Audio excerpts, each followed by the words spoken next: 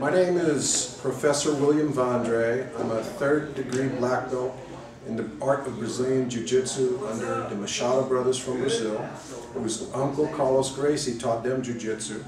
Eighth degree, Rigan Machado, Carlos Machado. Sixth degree, Jean-Jean Jacques Machado, and fifth degree, Roger Machado are all my instructors who I've trained with for 14 years. I have an academy headquarters in Austin, Texas, and I have seven affiliates in Texas under me and under the Vandry Brazilian Jiu-Jitsu Association. In the Brownsville Valley area, Professor Manny Galvan is a black belt under me and has my full endorsement to teach and cultivate the philosophy of Brazilian Jiu-Jitsu in his area.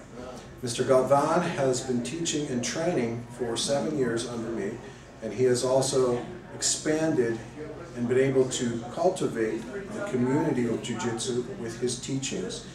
Anyone in the Brownsville area or anywhere else in Texas that ever comes to that area that would like to train competent, coordinated, absolutely very good Jiu-Jitsu, Manny Galvan is definitely the man to go train with in his Brownsville Academy. He has my full endorsement and my blessings, and he has been one of my most loyal students and one of my toughest students who's represented the Vandry Brazilian Jiu-Jitsu system for seven years.